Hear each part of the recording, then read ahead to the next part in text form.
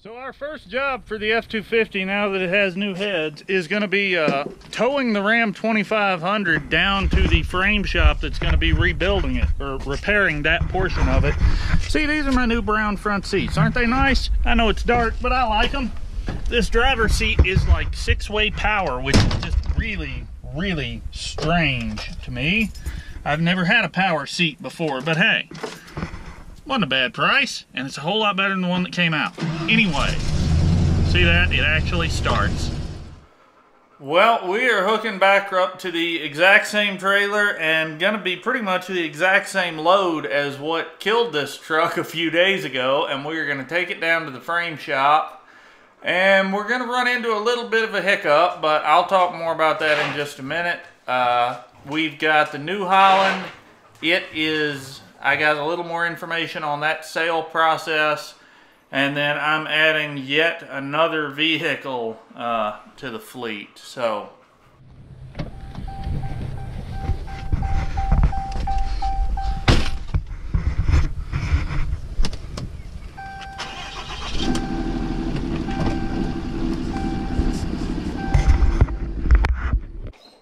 So we're loading the Ram 2500 back up behind the F250 and we're going to haul it about 60 miles from Cheyenne, Wyoming down to Fort Collins, Colorado.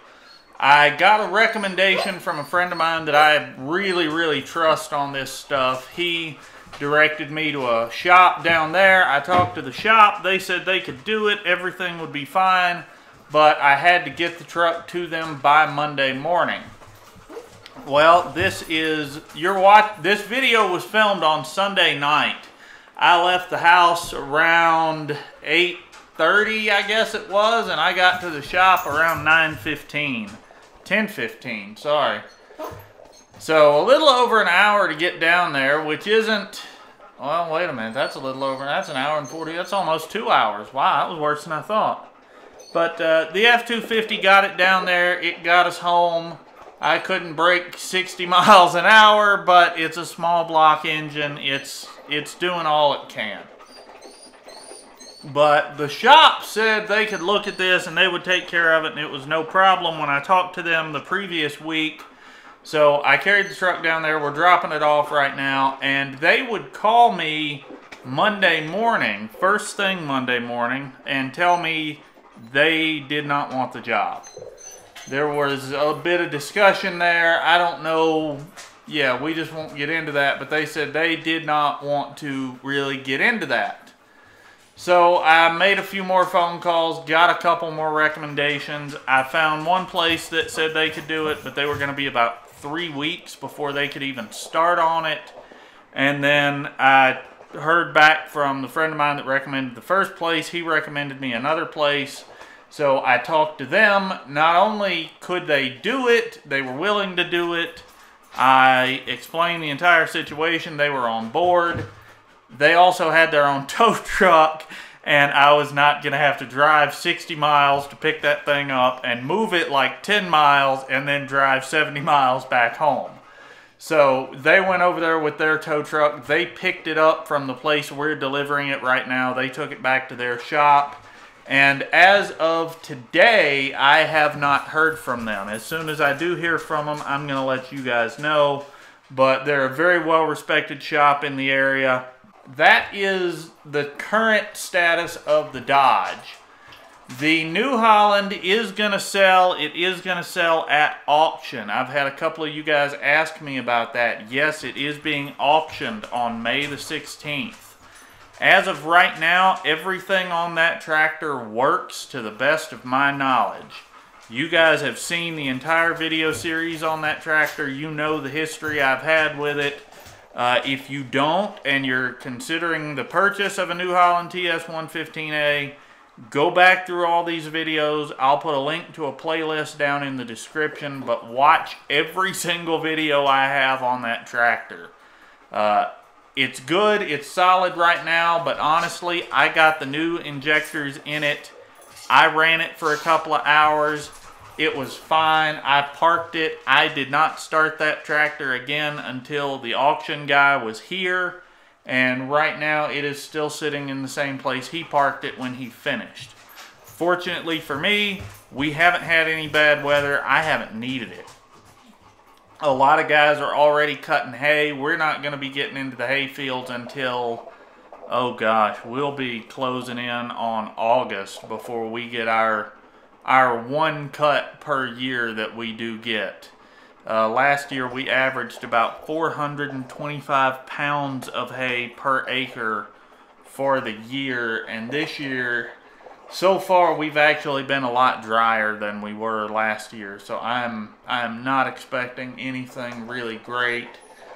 But brandon and i have been discussing a little bit our equipment situation because the new holland is leaving.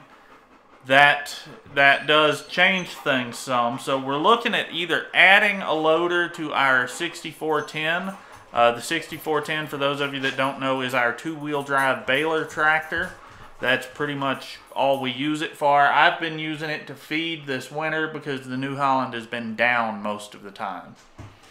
The New Holland will be replaced, but because it is selling at auction, I don't know exactly what I'm going to have to work with when it's time to replace it. Uh, it is selling with no reserve and a starting bid of like a hundred bucks. So theoretically, this tractor could sell for as little as a hundred dollars and have to sell. I hope it'll do more than that.